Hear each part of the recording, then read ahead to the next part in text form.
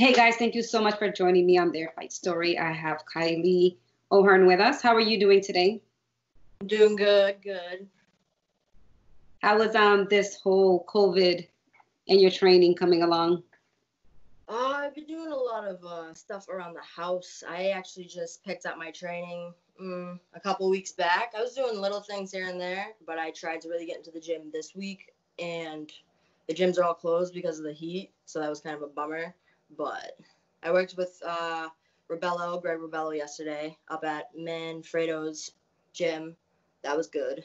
Um, and today I went to my coach's house, uh, Loco Lobo, mm-hmm. and we did some rolling around. But that's basically all it's been, just low key stuff. Okay. How did you get into MMA? Uh, I got into MMA when I was 12. I wanted to originally do boxing, uh, but they don't hold boxing competitions for 12 year olds. So I ended up doing jujitsu and I loved it. And I don't know, I just always wanted to. I grew up with boys, so I always when I saw cage fighting, I was like, wow, that has everything. So yeah, yeah. I didn't, you know, people have signature names, and you just have this signature, this signature entrance or signature you, I guess. Where did you come up with that? I don't know. I kind of like after class, after training, we would always take photos. Yeah. Uh, I don't know. I kind of just got like in the like. I was like, we're here to train. Why are we taking pictures after? I mean, I'm not like that anymore. I understand now. It's like promoting it. So I would always put my hair in front of my face, and I don't know. It just kind of comes natural to me. I love putting on a show, no matter like when I'm in my world. I love to put on a show. Yeah. yeah. And you always do when you're in there. It's always like, whoa, what's gonna happen? Yeah. Um, so it's awesome. It's awesome to see that you work really hard and you train really hard, and you're able to you demonstrate it. You know what I mean? Like, mm-hmm. um, how did you, how did you feel um, fighting these last couple fights as a pro? Oh, my first couple, I was uh, I was very after I had my first pro fight, I kind of just got I got like super I, I got super depressed because I didn't have my license.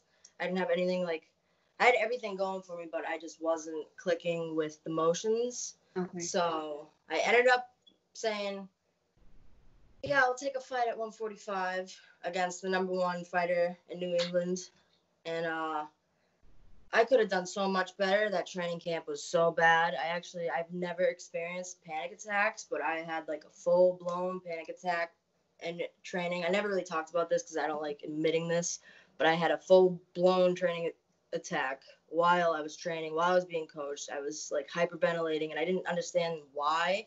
Mm-hmm. I just too much was happening. I've never I've, that's that's not me. Like I'm able to be competitive on my own. I was just way too in my head.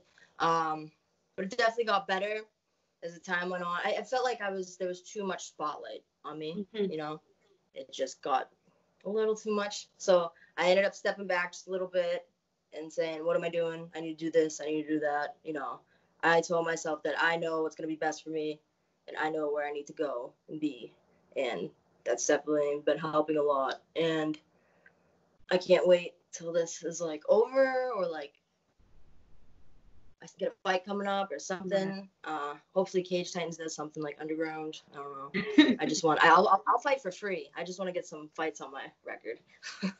Because right now I'm one and two, and I don't like. I don't like the sound of that. yeah, that's not me. No. what do you know? What what um other than being in the spotlight, what triggered your panic attacks? Um, I have no it wasn't being in the spotlight. It was more like when you go to train, you're training. Like everything just happens naturally. Yeah. Because like, you're like when I'm like naturally being an animal, like I'm good at that. It was like I wasn't able to get that. I wasn't able to get to just like do my own thing. Every time I would go and train, it was very like you need to do this, you need to do this, you need to do that, you need to do that, this, that, this, that. And it was just like right arm, left arm. I was just like, oh like I couldn't do it anymore. I was like, if I'm gonna be like oh, it. But I've like learned to like let that go a little bit more and like listen, obviously. But it was just because it was nonstop, and I just needed to do. I wasn't doing my own thing, and I wasn't doing what I was supposed to do. I was kind of just going to the gym and listening to the coaches like day after day after day, and it was very. I don't know. It just wasn't good. It was bad. My cardio was bad. I was bumming.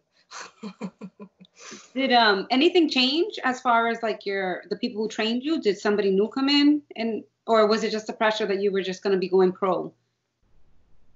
Um, I started working with more coaches, and I think I was just very overstimulated, and I wasn't used Okay. to it. Uh, and it was just like I didn't want that fight because I didn't have my license, and I knew my training camp was shit because I wasn't getting to the gyms that I need to be getting to to work, and it was just a very like tumbleweed process. You know, kept spiraling out, so I had to like take a step back. I actually took uh, two months off to get my license, um, which was I ended up going to driving school. That was fun, but yeah, I was I was like the oldest one in there. I was like, oh my god, it was funny. I didn't get my license I was 20, 21 because my coach would drive me everywhere. My coach was at the gym that I was going to, and. I would meet him on his way. So it was always like just so easy. I was like, I don't have time to get my license. I'm gonna just keep going and going and going. Yeah. And it kind of just backfired on me for sure. That's okay. Now you know. Now there's nobody who's gonna be stopping you. Um, Exactly. your last fight with Jasmine, how that was an intense fight. First of all, that was like go go go. Like that was so awesome. You guys were like bending this way, that way. I was like, holy crap. Yeah, that was fun. I love that fight. I love her. She's awesome. She's Yeah. like one of my favorite people that I fought. Her and Trisha. Trisha was really cool too. Trisha Yeah. Cicero. Um, it was uh, I took that fight two weeks notice. I had a bit of a weight cut. You know, I had to like really like count back on my food. My diet's really good. Usually, I don't call it diet. You know, it's a lifestyle. Blah blah. Yeah. You know. but um, that was that was an awesome fight. I lost uh, from two takedowns, two takedowns, but it was really cool. She said I was her toughest fight, which was awesome after the fight, and uh, Yeah. I told her where to get lobster, so she was really cool. Well, that was a great, that was a really great fight. I mean, wow, I didn't know which way you guys were going. I was like, and it was, it's hard because I'm trying to take the pictures, but I'm also trying to enjoy the fights. And I'm like, oh, you're gonna do this, so I gotta like prepare myself to what move you guys might, you know, might go into so I can get the shot. But I was just like, oh crap, like I really want to enjoy this. That's Yeah. awesome. I love hearing that. Yeah. Um, yeah, that was my favorite fight. My stand up. I thought my stand. I watched the. I watched the. Obviously, I watched the fight afterwards. I thought my stand up looked way better than it did, but it felt better. But I watched it. I was like, oh, I should have done this. I should have done that. But you're gonna say that after every fight. But yeah. I Yeah. loved my stand up in that fight. No, I mean you guys did great. Other than in that fight, your stand up, did you did you wish you change you could change anything in your other fights? Um, Are you changing your style at all, or you know what I mean? My punches are very powerful. Yeah. but I don't sit down on my punches. And like all like the photos, I'm sure like that you take my feet are off the ground and I'm like this in them. I'm just off balance. If I sit on my punches, I'll have a lot more power. My first fight ever, I trained my first couple of fights, I should say. I trained with um, boxing gloves. And in boxing gloves, you know, your hands are like this. They're Yeah. not fully closed like Mhm. the MMA gloves. So I would get in the I would get in the cage and I would punch like this with my hand open Yeah. throughout the whole fight. I was like, I'm supposed to close my hand. And I would also, I would punch them, I, I would headhunt. I still headhunt. I don't mean to, but I do. I, I would punch them in the forehead. I wouldn't aim for the jaw or the Yeah. chin. I would be punching them in the forehead the whole time. So it was very, it was very bad. Um, but I, that's I've learned a lot from that. I so I would have closed my hands in my last couple of fights and punched them in the jaw instead of the forehead for sure. That's awesome. That's aw- but I mean that's a great thing that you can always go back. Even little things like that. Yeah, yeah. But the thing is, it's like um, I mean those are the things that you're gonna be um, kind of adjusting Mhm. but people don't know what else you're doing behind closed doors which when you go back into the cage, is just going to be another tremendous version of you, which is great, you know? I I ended up after me and Jasmine fought, because I lost those two takedowns, I ended up just doing wrestling season as much as I could yeah. uh, for the three months at high school. I go right to the high school with uh, Coach Ranger, and uh, I work with all the boys in there. And just the energy in there yeah. is just, I love it. You, oh, that energy is not like an MMA gym. It's just hard, hard mm-hmm. wrestling nonstop. Like, cause like, cause in MMA, you know, these professionals, they're doing their shit outside of the gym. They're doing all their training that they're supposed to be doing. And wrestling, like the coaches are yelling at you because he knows those kids aren't doing what they're yeah. supposed to be doing outside. Of, so like they kick your ass in there. So it's so I love it. I love it. have you stayed consistently with the same coaches throughout your career, or have you gone? Recently, when I got my license, I started uh, working with Pete Jeffries at Triforce and okay. uh, Joe Lauzon at Lauzon's and um, Rebello. He's mm-hmm. not. He's always been in the picture, but I've never really worked with him as much as I am now. Right now, my two main coaches is Rebello and Loco. Okay. Um, but uh, my roots of jujitsu come from uh, Juliano Catino, Banana. Mm-hmm. I I I'm I'm in good terms with all my coaches. Yeah, yeah. I always go back to them because. I it's like it's like I'll be here for a little bit, then I gotta go here, then I gotta go here, then I like I know I try to keep it level, but my my stand up is definitely not as good as my wrestling and jiu-jitsu. And I really haven't been able to showcase that in the cage as much. I get uh I don't feel like I get too aggressive and hyper. I definitely do feel like I take my time, but then I watch those tapes and I'm like, I should have stayed here a little bit longer. I should have done this. I should have done that. My uh, Kerry Kennison fight, towards the very end of the fight, I have perfected like getting the choke. Yeah. The very, very end of me and Carrie's fight, I'm on her back for like a good minute, two minutes. I forget how it was a long time if I had known then what I know now, I would have finished that fight. Yeah. But yeah, that was that was a good fight too. The cage. Are you looking to, as people say, put on a show, or are you looking to finish?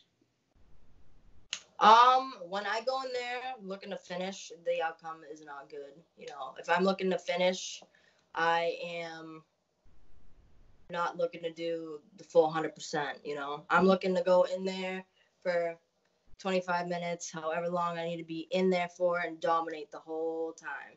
Okay. And in doing that, in preparing myself like that, I'll get finishes, you know. Okay.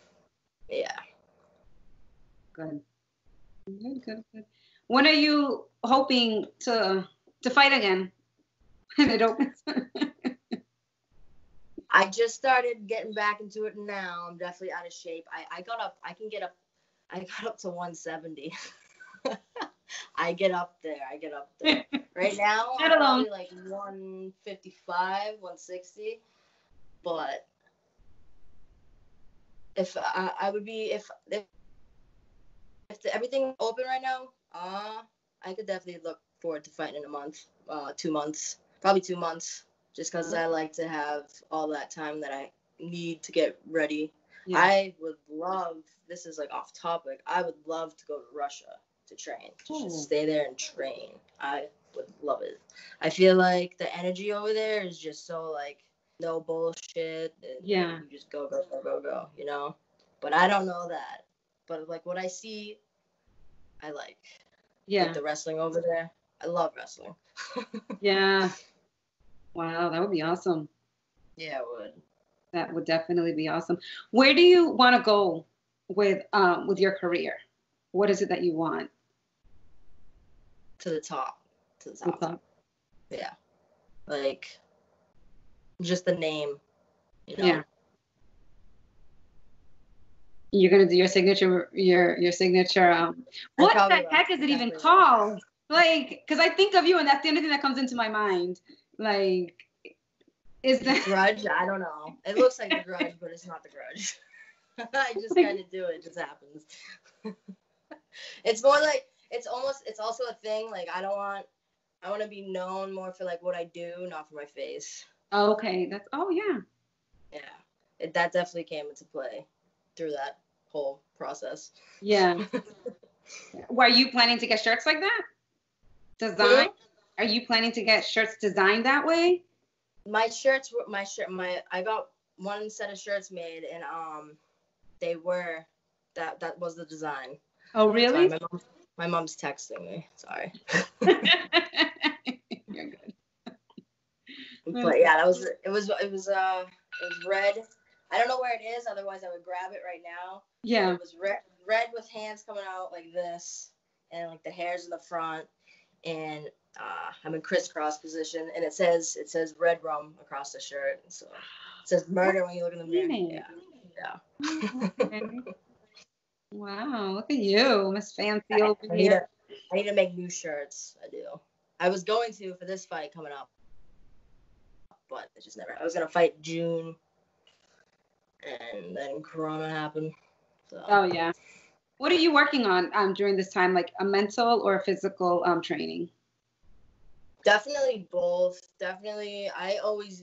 Um, it's funny when I was a kid. You know, I didn't have fights. Yeah. But, like my mentality was just so strong. Like no one could tap me out. No one could do this. That like 300 pound man. No, I can beat him up. Like that's the mentality. When you go in the cage, if you like, if you listen to too many people, like it definitely it fucks with your mentality, you know. And people be like, you need to you need to get your mental back on track. You need to do this. You need to do mm-hmm. that. Like no, it's like no, I don't. Like it's all there. You need to you need to stop telling me to do that. Here. Just, just work with me, and I'll I'll be I'll be 100 percent for you. It's Yeah. like I don't like if I could go to practice without talking, like even like learning moves, if people would like just grunt Yeah. teaching the moves, I would understand it so much better, so much faster.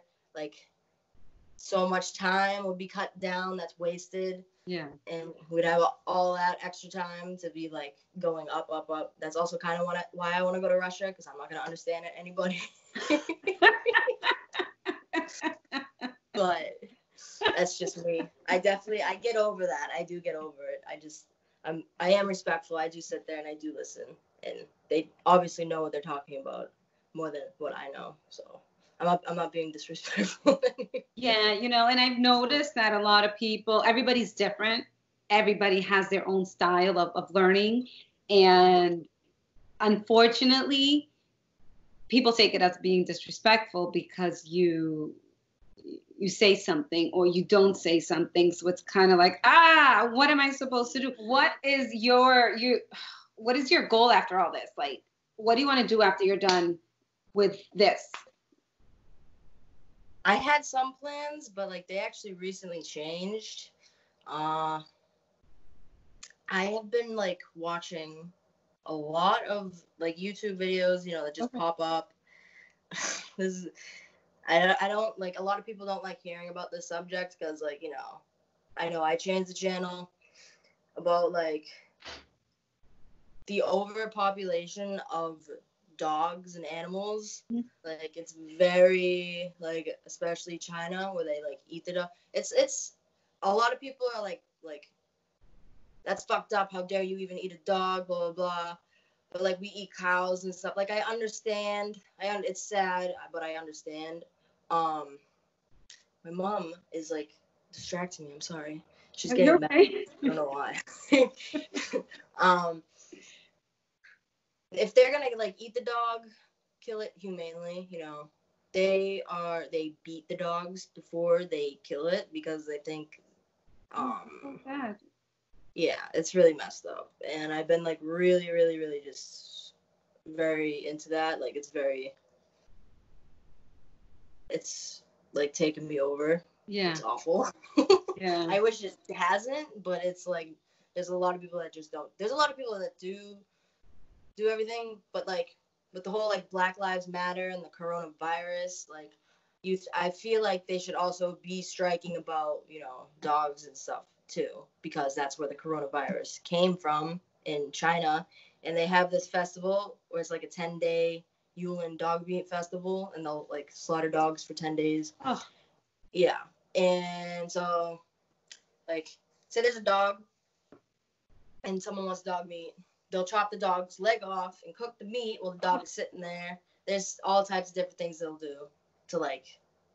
It's just messed up. Like, kill it quickly. Don't let it suffer. Like the population of dogs is ridiculous. There is like 900 million dogs on planet Earth. Like, stop breeding them. Like, and it's like you can't control it. But like, there's also just like a lot of idiots that have dogs that shouldn't have dogs. Also, another thing, I get really mad when people blast their music in the car with their dog. It's like turn it down, just play it regular, not blasting like your dog's really sensitive. Like I sound like a crazy animal lover. Like I used to just kind of like let this stuff go, but it always has honestly bugged me Yeah. because a lot of people don't want to hear about it. But it's like if you have no fucking common sense, like okay, you should have a dog, but like you should know how to take care of it. hmm Like, then there's this whole thing where we shouldn't even own dogs and da da da da. Um, which kind of makes sense, but it's also like sad. I don't know. I don't know. It's like a big thing. Yeah. It's No, same, I- same with cows though. Same with any animal. Like if you're gonna kill it, kill it quickly, humanely. You know, be thankful for that meat. Don't sit there and just that's that's that's alive. You know, what are you doing? That ha- that's suffering. Kill it. yeah. I rather I rather not kill it at all. I wouldn't kill it. I wouldn't be able to kill it. Like I love chicken. I couldn't I couldn't kill a chicken to eat the chicken. I wouldn't Yeah. be able to. Yeah. No, I I, mean, get I'd have to get through it somehow eventually, but we shouldn't even be eating meat. The meat is, I think it's, I forget the exact number. I think it's like 60 or 70% edible, but insects, it's gross. It's like 90%, 99% edible.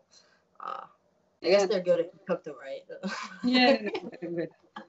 I'm good. I'm good. I'm good with all that. I draw a line somewhere. Do you know, like, if we had been eating insects this whole time, you'd be like a cow? I'm not gonna eat a cow. What the fuck? No, I wouldn't be eating the an same insect. thing. No. Huh? You don't eat meat? No, I do sometimes, but um, I wouldn't be eating an insect. I don't care Oh, because I, I, I get it. There are different cultures that that you know eat it because it's the protein, and you know what? Good for you. I will send you that protein over there. I'm Mhm. good. I, I, that's not that's Yeah. not for me. I know it's your lifestyle, but for cutting weight, how is have you had any issues with that or experience before? So, oh yeah, I, I honestly I love cutting weight. You love cutting weight? So, yeah, I'll get Oh. down to like 130. My last for uh Jasmine, I was down to like 134. So I'll cut. So I do. I'll do a meal plan that my buddy sent me back a while ago, and it's just it's worked. It's simple. It's like what you're supposed to eat. It's like no bullshit. It's just Yeah. like this, this, that, that. Three meals a day, good to go. Like one snack, and I stop eating around five o'clock at night or six o'clock, depending on my training, because that's when Yeah. like I'm like in the car eating, trying to get it all down. It's just like five food groups that I need to get down. Each meal is like five food groups, so I'm just like shoving that down the whole time throughout training camp. a gallon of water every day. And then it will be fight week, pre-fight week. So like on Mo- like fi- the fight will be on Saturday. So on like Monday, I'll do one gallon, and Tuesday, one gallon, and then Thursday, I forget which if if it's two day, one day I'll do two gallons, and then I'll cut it down to one gallon again the next day, and then a half a gallon the day before the cut, or Yeah. I'm sorry, the day of the cut. Yeah. So I'll start cutting weight Friday. No, I don't wanna- Thursday night. Oh my goodness. I'll start cutting Thursday night, and weigh-ins is Friday. So I'll cut like mm, six to eight pounds that night, and then the next morning I'll cut like the same. So it will be before weigh-ins. I'll, I'll make all my weight. So for Jasmine, I got to 134 and I had to get down to 125. And what I do is I go in the sauna, five minutes in, five minutes out, five minutes in, five minutes out. We'll do five rounds of five minutes in, five minutes out with sweet sweat and sauna suit, uh, and sweatpants and sweatshirt over that. and then for the next five five minute rounds in and out, we'll do nothing on besides like my sports bra and like my um. I just wear like the Puma Under Armour Yeah. boxers, and we'll reapply the sweet sweat and then swipe it with a credit card. And that I usually cut down quick. A lot of some people don't like the sauna. You know, Mhm. they, they their like skin heats up or some shit, or like they feel like their head's getting too hot. Uh, sorry for if the person that says that is watching this. Um, but I love it. I love it. But of course, like the last like three pounds, I'm like, uh, Yeah. I'm dying. But for the most part, it puts me in like a zen state where I'm just like in a trance, and I just yeah. It's good. All right, so let me ask you this: When you're you're cutting weight, right, and you're doing your weigh-ins, um, and then you get me, right, and I got to be taking your pictures. How, Uh-huh. how are you feeling? I'm I'm like I said, so like I've always loved putting on a show, and I did not have an outlet for it when I was a kid, so I was Mm. just like a pain in the ass. So as soon as I got this, I was able to be quiet in every other aspect in life and just focus. So when I get there to weigh-ins, like I love it. I love the photos going. I love, you know, I love getting the crowd. I love putting on a show for the crowd, and it's it's not like it's the ticket sales. I don't give a fuck about the ticket sales. Yeah. I never do. I, I I don't like doing ticket sales. That stuff is annoying to me. Like in my mind, I'm like, I'm here. I'm put on a show. I'm going to fight. I'm going to win. It's going to be great.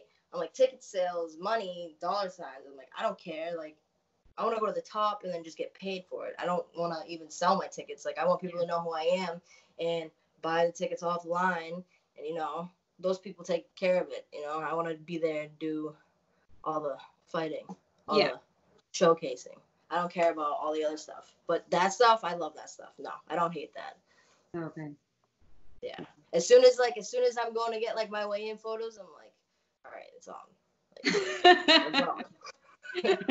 I love it.